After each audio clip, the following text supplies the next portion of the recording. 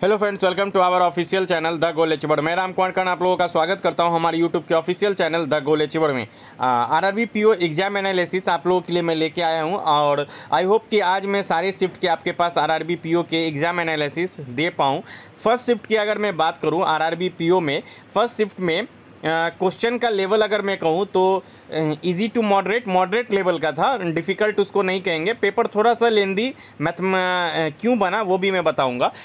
सबसे पहले अगर मैं रीजनिंग की बात करूँ तो यहाँ पे एक पजल देखने को मिले थे दो वेरिएबल वाले। जो थोड़ा सा लेंदी था जिसमें सेवन सात लोग थे शायद, सात या आठ लोग थे, जैसा कि मुझे स्टूडेंट ने बताया। और उसमें ये उसमें कुछ फ्रूट्स वगैरह या कलर वगैरह दिया गया था। उसको उसमें उसमें सीटिंग अरेंजमेंट उसको बैठाना था। एक सर्कुलर क्वेश्चन पूछा गया था, जिसमें आठ लोग थे और चार इनसाइड और चार आउटसाइड देख रहे थे। ऐसा क्वेश्चन उसमें देखने को मिला था पजल में। एक अनसर्टेन पजल आपको देखने को मिला था, जिसमें उनका कहना था कि नंबर ऑफ़ पीपल जो है वो पंद्रह बैठे थे। अनसर्टेन क्वेश्चन आपको देखने को मिला था, अनसर्टेन पीपल का। एक बॉक्स बेस्ड पजल पूछा गया गया था जिसमें दस बॉक्स एक दूसरे के ऊपर रखे गए थे। इस तरह का क्वेश्चन पूछा गया था रीजनिंग में और सैलोगिज्म भी पूछा गया था पाँच। ओनली फ्यू वाले क्वेश्चन ज़्यादा देखने को मिले थे। इनक्वालिटीज़ भी देखने को आ, मिला था। चार या पाँच क्वेश्चन इनक्वालिटीज़ के भी देखने को मिले। और डायरेक्शन से भी क्वेश्चन पूछे गए थे और काफ़ी अच्छा लेवल का क्वेश्चन था डायरेक्शन का जिसमें दो वेरिएबल थे। आ, दो लोग का डायरेक्शन उसमें मिक्स करके क्वेश्चन दिया गया था। अच्छा क्वेश्चन था। वर्ड फॉर्मेशन की आपको क्वेश्चंस देखने को मिले थे, जिसमें शायद क्वाइन या आइकन करके कुछ वर्ड्स फॉर्म्ड हो रहे थे, उससे रिलेटेड क्वेश्चंस थे। एक नंबर नंबर दिया गया था सेवन सिक्स नाइन टू ऐसा करके। उसमें इवेन नंबर में वन माइनस करना था वन प्लस करना था जो भी इवेन नंबर थे सम संख्या में, और विषम संख्या में एक घटाना था। और फिर उसके दाएँ से तीसरा या और फिर बाएँ से तीसरा या पाँचवा ऐसा उनका सम या अंतर पूछ रहा था। इस तरह के क्वेश्चन देखने को मिले थे। और अगर ओवरऑल अगर मैं बात करूँ तो पेपर का लेवल अच्छा था। रीजनिंग की अगर मैं बात करूँ तो एक पजल जो है, उसमें लोग फंस रहे थे। जैसे दो वेरिएबल वाला था, उसमें अगर आप करने बैठ गए तो उसमें टाइम देख आपको लगने वाला था। और एक बॉक्स बेस्ड पजल था, उसमें काफ़ी बच्चे फंस रहे थे, लेकिन डुएबल था। अगर मैं मैथ्स की बात करूँ तो मैथ्स फिर से लेंदी पेपर था।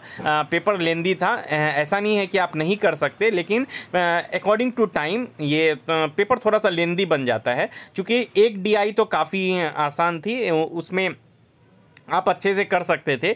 एक डीआई में टोटल नंबर ऑफ़ स्टूडेंट्स दिए गए थे। उसमें टोटल नंबर ऑफ़ स्टूडेंट्स के बाद मास्टर्स करने वाले बच्चों के परसेंटेज दिए गए थे। और उसके बाद बाद बाकी आपको ग्रेजुएशन करने वाले बच्चों के नंबर ऑफ़ स्टूडेंट्स निकालने थे। ग्रेजुएशन के भी नंबर ऑफ़ स्टूडेंट्स मास्टर्स के भी निकालने थे।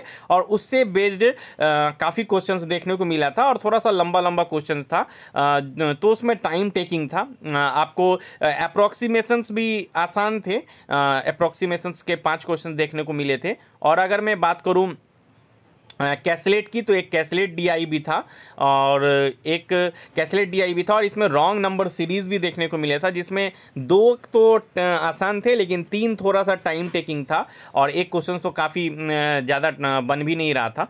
तो और अर्थमेटिक की अगर मैं बात करूँ तो अर्थमेटिक भी डुएबल थे, लेकिन कोई भी आसानी से तीस सेकेंड में बनने वाले क्वेश्चन नहीं थे। थोड़ा सा लेंदी क्वेश्चन देखने को मिला मैथ्स में जैसा कि आपको आर कलर्क में भी देखने को मिला था तो मैथ्स का पेपर थोड़ा सा टाइम टेकिंग था और रीजनिंग में भी अगर आप एक्चुअली क्या है पजल में अगर आपके अरेंजमेंट ढंग से बैठ जाते हैं तो आपके फ्लो में बनता चला जाएगा। अगर आप कहीं भी मिस कर गए तो आपका थोड़ा सा टाइम उसमें लगा होगा। तो ओवरऑल अगर मैं गुड अटैम्प्ट की बात करूँ तो बहुत सारे बच्चे आपको बताएँगे कि मैंने सेवेंटी अटैम्प्ट किया सिक्सटी अटैम्प्ट किया तो उनकी बातों में नहीं जाना। अगर एक्चुअल अटैम्प्ट जो पीओ में होना चाहिए, जिनका भी अटैम्प्ट फिफ्टी थ्री के ऊपर है, यानी कि फिफ्टी फाइव से सिक्सटी के आस पास है, वो बहुत अच्छा अटैम्प्ट है, आप लोग मेंस की तैयारी में लग जाएँ और जो भी अपकमिंग शिफ्ट आने वाले हैं, उनके लिए मैं बताना चाहूँगा, जो भी बच्चे हैं, उनके लिए वो क्या करें?